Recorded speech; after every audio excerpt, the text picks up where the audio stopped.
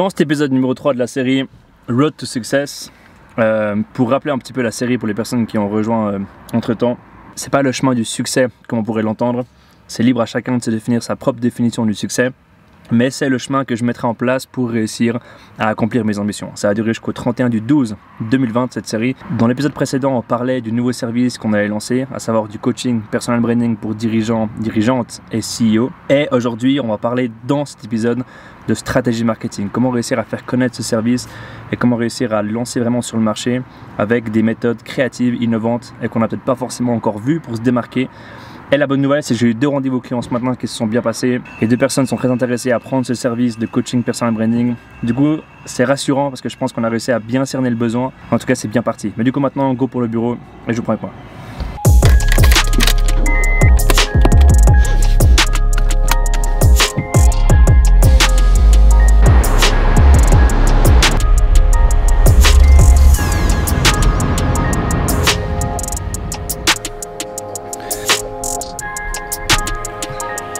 Bon, pour résumer un petit peu euh, les différentes stratégies qu'on a eues en tête pour le lancement du service en coaching personal branding. La première stratégie, ça a été, on s'est, demandé si on devait du coup faire des ads sur les réseaux, sur Google, sur euh, LinkedIn, sur Facebook. Euh, on s'est dit que c'était, on vise quand même des personnes qui sont dirigeants, dirigeantes, qui sont exécutives ou CEO, qui ont un poste assez important. C'est pas forcément des personnes qui vont prendre le temps de rechercher des mots-clés ou qui vont chercher des coachs là-dedans, c'est plus leur équipe à elles qui vont le faire. Et on a l'impression que c'est plus une démarche où c'est à nous d'aller vers ces personnes plutôt qu'à elles de venir vers nous. Vu que c'est quand même un public, enfin c'est un marché de niche, c'est un marché quand même très ciblé. Donc on s'est dit que c'était plutôt à nous de faire l'effort d'aller vers elles, plutôt euh, de tout faire pour qu'elles viennent elles vers nous. Ensuite, l'autre idée qu'on a eue, c'était de faire la prospection directe, c'est-à-dire d'écrire directement à des CEO, à des dirigeants, leur dire écoutez, on a un service pour vous, on est conscient d'eux, de faire une approche assez commerciale, mais ça reflète pas du tout l'agence, c'est pas comme ça qu'on aime prospecter. On préfère vraiment essayer de mettre d'abord l'humain au centre des choses, être sûr que humainement, on, voilà, je sais pas, on se kiffe, qu'on aime, qu'on aime travailler ensemble, qu'on aime bien les valeurs qu'on partage, puis qu'on a l'impression d'avoir une fréquence qui est sur la même onde. C'est important, je pense, pour commencer. Et du coup, on s'est dit, bah, la prospection commerciale directe en 1-1, on va vraiment l'éviter, c'est pas ce qu'on veut faire.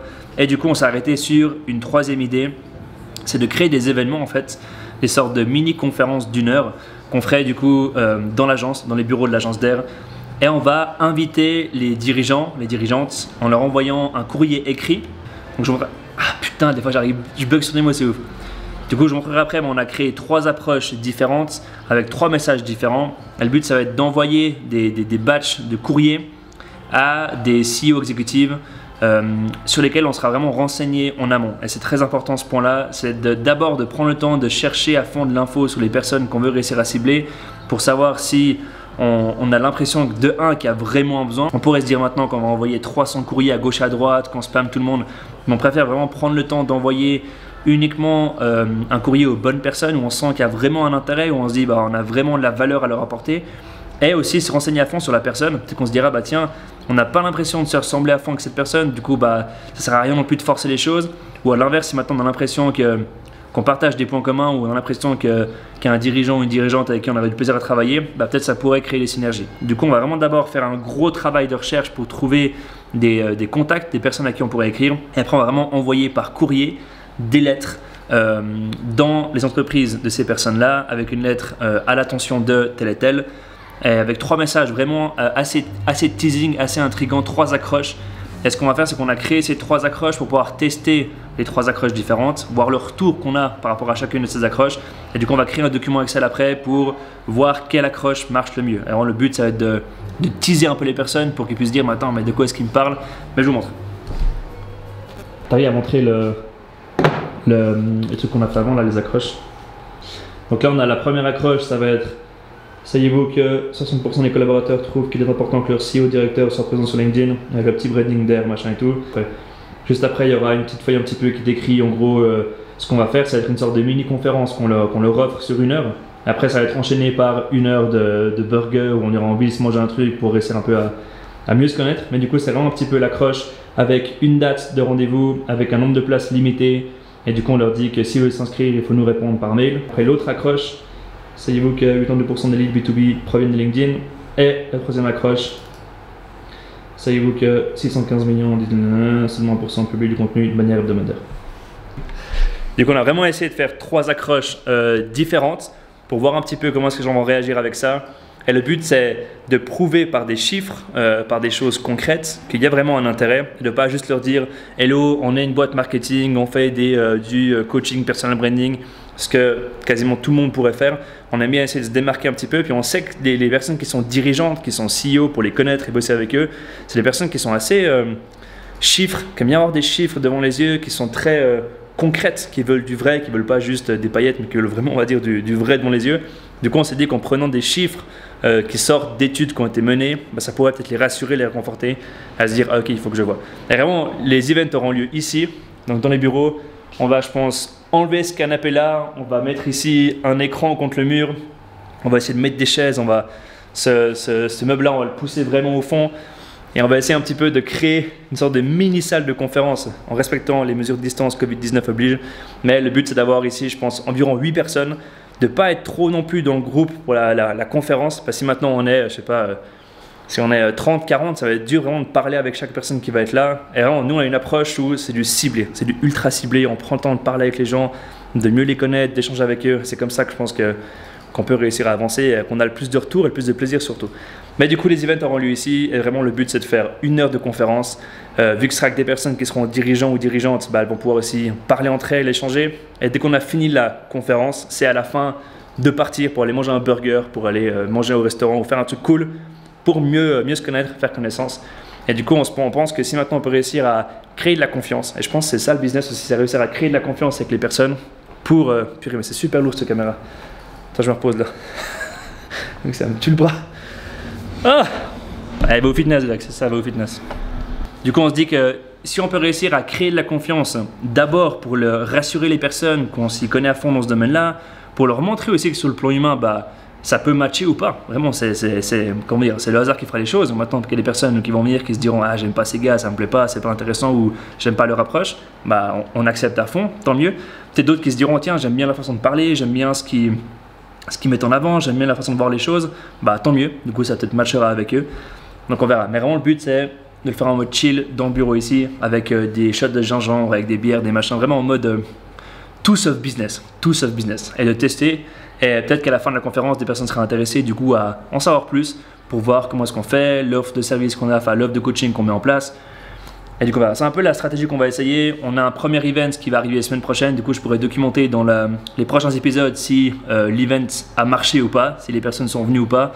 Je pourrais faire une vidéo aussi durant l'événement. Maintenant, on va préparer tous ces courriers. On va se mettre un petit peu en chaîne, en mode chaîne de production. Mais avant ça, il faut maintenant qu'on fasse un listing de personnes. C'est un gros travail de recherche où vraiment on va essayer de fouiller à fond sur Internet, sur LinkedIn, sur Google pour trouver les boîtes avec qui on aurait plaisir à travailler. Les boîtes, on a l'impression qu'il y a vraiment de quoi apporter de la valeur. Et on va pas juste leur vendre pour leur vendre. Le but, c'est vraiment que nous, au fond de nous, on se dise, mais tiens, avec cette entreprise, avec cette personne-là, on pense qu'il y a un truc cool à faire. Bah, si c'est le cas, on leur écrira. On va préparer ça aujourd'hui. Demain, ça va être journée euh, mise sous pli. Donc on va imprimer les lettres, euh, les signer à la main avec écriture, les mettre dans une enveloppe, le timbre et ensuite, boum, on les poste. Et le but, c'est qu'on puisse avoir des réponses d'ici début de semaine prochaine pour faire l'event en fin de semaine prochaine. Comme ça, on va tester un petit peu un premier event, on verra un peu les retours qu'on aura, on pourra du coup réajuster par la suite.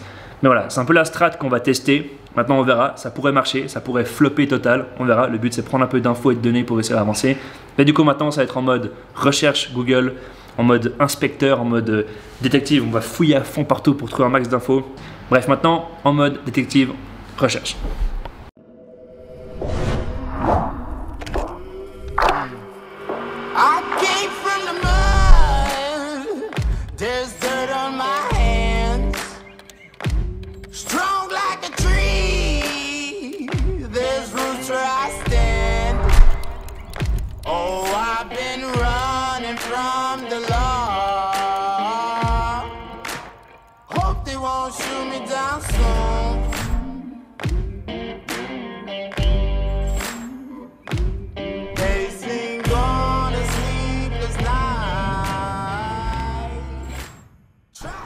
Fin de journée maintenant, il est 19h15, ça fait 2h30 que je suis en mode euh, recherche à fond sur LinkedIn, sur Google.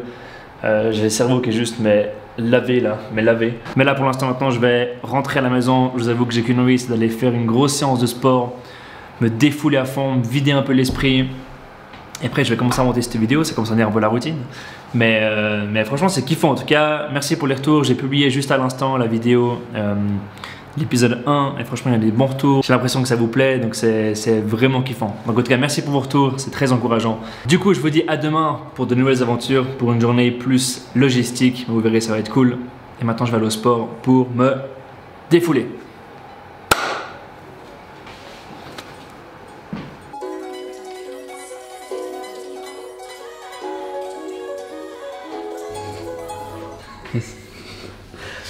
Jour 2, aujourd'hui c'est en mode logistique. On est en train maintenant de mettre en place le listing des personnes à qui on va écrire. On va imprimer les lettres. On est en train de réfléchir un petit peu à comment est-ce qu'on va la structurer. Est-ce qu'on fait un recto verso euh, Ou est-ce qu'on fait euh, directement sur une page en coupant deux? Le problème c'est que ça se voit un peu à travers. Bref, mais du coup maintenant c'est en mode impression, mise sous pli et après on aille à la poste pour envoyer les lettres. On se donne jusqu'à 15h30 pour réfléchir aux lettres, ok? C'était quoi C'était A4 ou A5, on hésitait. Ensuite, ce qu'on fait, 15,45, faut juste qu'on regarde niveau signature, où est-ce qu'on les met.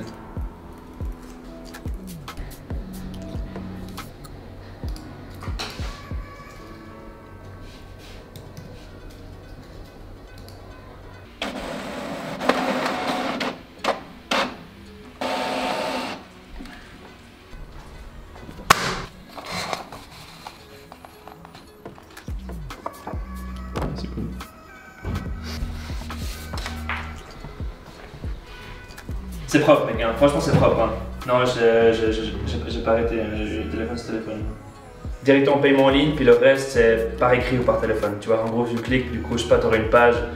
En tous les cas, tu tombes sur la page qui décrit le produit, puis du coup, tu peux nous écrire ou nous appeler. Mais. Ouais, je suis dessus, Donc là, c'est bon, maintenant, on a le trois modèles.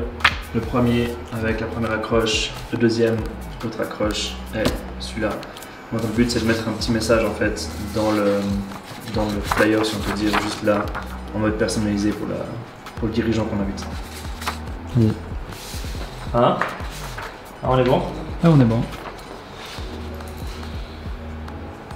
J'écris comme un médecin, mec. Du coup, astuce, j'écris en majuscule.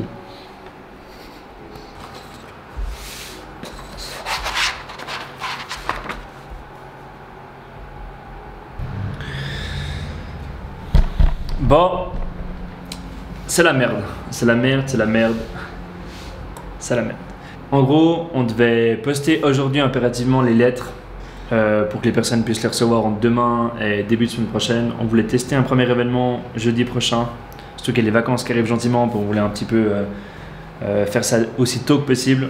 Mais le problème, c'est que j'ai été happé dans plein de téléphones durant tout l'après-midi, des téléphones de la part de clients qui n'étaient pas forcément prévus, mais qu'il fallait, euh, qu'il fallait faire. Et du coup, bah, on a raté en fait. Euh, la poste fermait il y a 20 minutes, vu que c'est des horaires qui sont quand même très réduits. Euh, du coup, là, donc on a raté en fait l'heure de la poste, donc du coup, on n'arrive pas à les poster aujourd'hui. On pourra que les poster demain. Et ça saoule parce qu'on les postera demain et ils vont les recevoir, je pense, bah, lundi ou plutôt lundi ou bien mardi. Bref, du coup, ça fait chier. Parce que j'aime bien essayer de respecter les délais qu'on se fixe. On était méga motivés en plus, ta team était vraiment à fond, on n'a pas réussi à gérer le délai. Mais voilà, mais du coup maintenant il va falloir qu'on envoie ça demain. Demain ça va être fait, mais là, comment dire, le truc cool c'est que tout est prêt pour le site, on a vraiment tout, tout mis en place, c'est juste, euh, ça on a bien avancé, donc c'est cool. Au moins on a bien taffé, c'est déjà une bonne chose. C'est la vie, c'est la vie, c'est la vie. Mais ça me saoule, on avait une bonne vibe, il y avait vraiment. Euh, toute la team était à fond, on n'arrêtait pas, il y avait de la musique, on se stressait à fond. Franchement, il y avait une bonne vibe. C'est dommage. C'est pas grave, c'est la vie, ça peut arriver. Des fois, on arrive, on n'arrive pas à faire tout ce qu'on voudrait faire. Il faut aussi l'accepter. Du coup, on va décider, je pense, demain si on maintient ou pas le premier événement qu'on aura jeudi prochain quand même que les personnes aient un petit peu le temps de s'inscrire et de planifier dans leur calendrier. Donc du coup je vous dis à bientôt pour l'épisode numéro 4 dans lequel on parlera un petit peu de la suite. Est-ce que ça a marché ou pas? Est-ce que cette stratégie marketing a fonctionné? Est-ce que l'event a été maintenu ou pas? On verra. D'ici là je vous dis passez une très belle journée après-midi, matinée, peu importe quand vous verrez cette vidéo. Et n'oubliez pas un truc, souriez à fond, ça fait une immense différence. À bientôt. Quoi la phrase que je te répète à chaque fois? Ne jamais laisser les gens dire que nos rêves sont trop grands. Il est minuit maintenant, je viens de terminer euh, une soirée avec la famille, c'était pour l'anniversaire à ma mère. Euh, Euh, C'était super cool, vraiment sympa. Mais du coup, je me suis fixé comme, euh, comme challenge plus ou moins de faire une séance de sport par jour.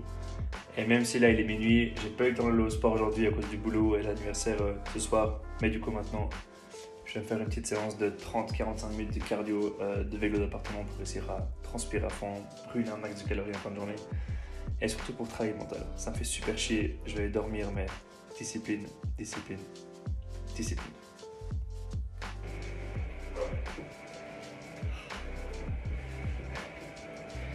C'est maintenant que ça fait la différence. C'est maintenant.